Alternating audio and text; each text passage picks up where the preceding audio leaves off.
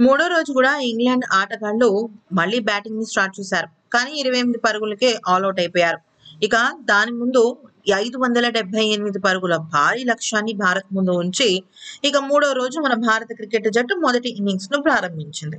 అయితే మొదటి ఇన్నింగ్స్ ప్రారంభించిన కొద్దిసేపటికే ఓపెనర్లలో రోహిత్ శర్మ అవుట్ అయిపోయాడు. నిజానికి ఇక్కడ ఓపెనర్లు ఇద్దరు రోహిత్ అలాగే ఇక్కడ కనుక చూసినట్టయితే శుభమాన్ గిల్ ఇద్దరు కూడా ఒకే విషయంలో తప్పు చేశారు. దాంతో క్రీజ్లో కనీసం ఇంకొంచెం సేపు ఉండాల్సిన వాళ్ళు తొందరగానే పెవిలియన్కు చేరిపోయారు. ఇంతకీ ఏంటా తప్పు అనే విషయంలోకి వచ్చినట్టయితే జోఫ్రా ఆర్చర్ బౌలింగ్లో వాళ్ళు తెలుసుకోలేకపోయారు ఒక టెక్నిక్ని నిజానికి ఇద్దరు ఓపెనర్లు కూడా జోఫ్రా ఆర్చర్ బౌలింగ్లోనే ఓడిపోయారు. అంటే పెవిలియన్కు చేరారు. అసలు ఏం జరిగింది అంటే షార్ట్ పిచ్ బర్తులు వేస్తున్న జోఫ్రా ఆర్చర్ను అంచనా వేయడంలో అటు రోహిత్ ఇటు శుభమాన్ ఇద్దరు కూడా అందుకోలేకపోయారు. ఆ అంచనాన్ని రీచ్ అవ్వలేకపోయారు. మొదటి బంతిని షార్ట్ లెంత్ రూపంలో విసిరితే రోహిత్ శర్మ ఆ జోఫ్రా ఆర్చర్ వేసిన బాల్ని అసలు ఏం కొట్టకుండా వదిలేశాడు. కానీ ఆ తర్వాత ఇక్కడ జోఫ్రా ఆర్చర్ ఏం చేశాడంటే లెగ్ సైడ్ లైన్ పైన విసిరితే ఆ బంతిని జీప్ స్క్వేర్ లెగ్ దిశగా మంచి బౌండరీని అందించాడు రోహిత్ శర్మ. అంతవరకు బానే ఉంది. ఆ తర్వాత మళ్ళీ షార్ట్ లెంత్ వేస్తే వెంటనే దాన్ని సంధించబోయి ఎడ్జ్కి తగిలి తర్వాత అవుట్ అయిపోయాడు. ఓకే ఇక్కడ వరకు ఓకే.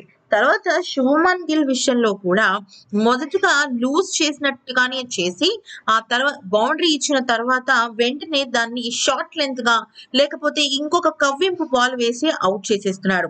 ఈ విషయాన్ని గుర్తించలేకపోతున్నారు మన ఓపెనర్లు. నిజానికి ఎప్పుడైనా సరే ఒక ఫాస్ట్ బౌలర్ కానీ లేకపోతే ఏదో ఎవరైనా తెలివైన బౌలర్ కానీ ఆ బౌలింగ్ వేసే మెలకువని బట్టి బ్యాట్స్మెన్స్కు ఒక అంచనా వచ్చేస్తుంది.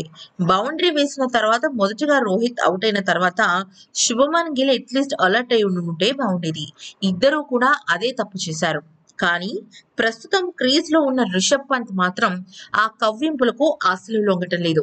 జోఫ్రా ఆర్చర్ మొదటిగా బౌండరీ ఇచ్చి ఆ తర్వాత వికెట్ను లాక్కునే ప్రయత్నం చేసినప్పటికీ దాన్ని తిప్పికొట్టి బౌండరీల మీద బౌండరీలు కొడుతూ కొద్దిగా భారత క్రికెట్ స్కోర్ బోర్డును ముందుకు నడిపిస్తున్నాడు రిషబ్ పంత్. కాకపోతే బ్యాట్స్మెన్స్ అయిన రోహిత్ శర్మ శుభమాన్ గిల్ పుజ అలాగే రెహానే ఇంకా విరాట్ కోహ్లీ నలుగురు అవుట్ అయిపోయినప్పటికీ క్రీజ్లో మాత్రం ఇప్పుడు రిషబ్ అలాగే పుజారాలు ఇద్దరు పాతుకుపోయి స్కోర్ బోర్డును ముందుకు నడిపిస్తున్నారు. ఏది ఏమైనప్పటికీ ఈసారి రిషబ్ పంత్ అలాగే పుజారా కనుక మెరిసినట్టయితే ఇంత పెద్ద భారీ స్కోర్ ఛేదిస్తే మాత్రం చాలా గొప్ప విషయమే.